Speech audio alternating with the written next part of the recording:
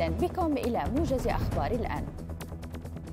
قالت مصادر إعلامية كردية بأن القوات العراقية دخلت قاعدة كي 1 في كركوك بدون قتال. كما أكد التلفزيون العراقي الحكومي بأن القوات العراقية المشتركة سيطرت على مساحات شاسعة من كركوك دون وقوع اشتباكات. وبحسب الأنباء فقد أطلقت القوات العراقية عبر مكبرات الصوت نداء لقوات البشمركة في محيط كركوك لتسليم مواقعهم. طالبت وزارة الدفاع الأمريكية البنتاغون في بيان لها القوات العراقية والكردية على تجنب القيام بأعمال تصعيد عسكري. وأشار البنتاغون في بيان له أن هذه الأعمال تزعزع الاستقرار وتشتت الانتباه عن محاربة تنظيم داعش الإرهابي.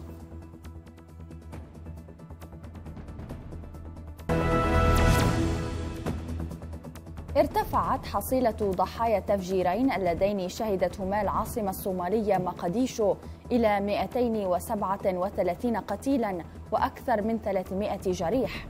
وأدى الانفجار الأول الذي وقع أمام فندق سفاري إلى سقوط العدد الأكبر من الضحايا بينما وقع الانفجار الثاني في منطقة المدينة المنورة.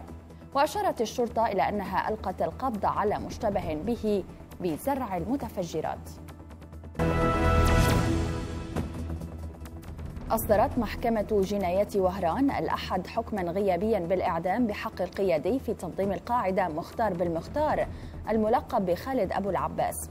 وذلك بتهمة تأسيس وتسيير منظمة إرهابية في الجزائر وحيازة واستيراد وتصدير وتسويق أسلحة وذخيرة.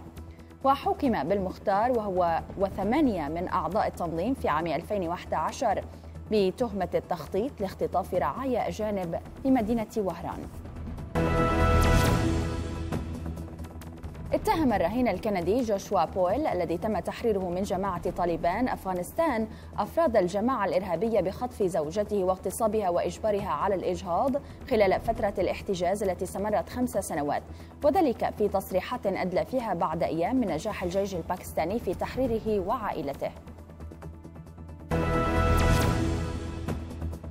شددت بلدية دبي على أهمية الالتزام بتطبيق قرار منع تدخين السجائر الإلكترونية في المراكز التجارية بإمارة دبي. وتأكيدا على ذلك نظمت إدارة علاقات المتعاملين والشركاء وإدارة الصحة والسلامة في البلدية لقاء عمل مع مجموعة من المراكز التجارية لمناقشة شكوى رواد المراكز من بروز ظاهرة تدخين السجائر الإلكترونية داخل المراكز التجارية.